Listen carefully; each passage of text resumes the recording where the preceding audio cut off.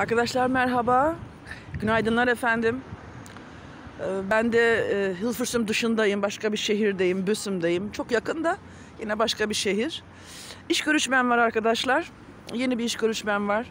Ee, Bayağı yani biraz tabii heyecanı var. Çok erken geldim. Dolaşıyorum. Dedim bir kahve içeyim. Kahveciye girdim. Ee, kadın şey dedi. QR kodun var mı kodun? Herhalde HES kodu gibi bir şey bizim burada da. Dedim yoktur.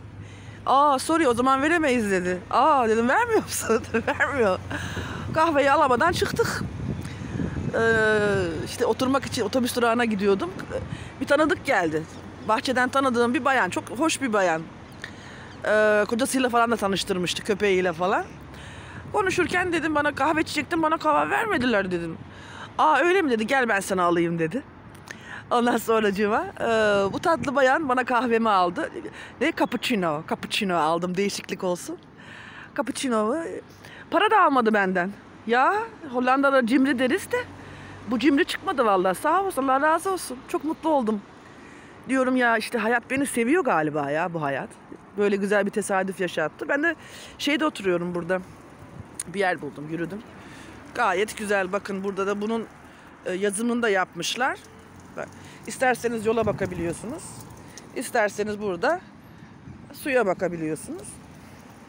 Bu saatlerde de işte anneler gözükür hep böyle çocuklarıyla, köpekleriyle ya da. Buraya yazmışlar Zonderheit Mauçı, Tchoy anlatıyor işte burada neler olmuş neler. Yani güzel, hoş.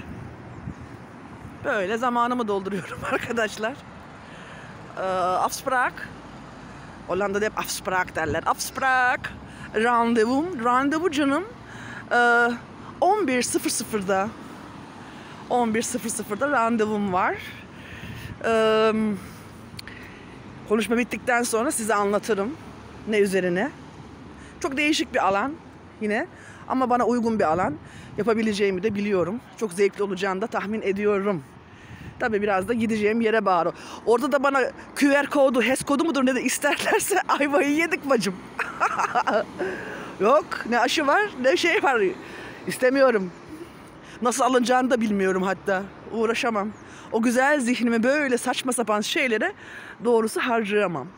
Efendim burası Büsüm. Hollanda işte biraz birbirine benziyor. Böyle alanlar çok bizim burada.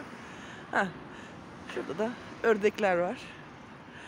Geçen birisi bana sen ördek gibi yürüyorsun diye yazmış ya bir yerlere.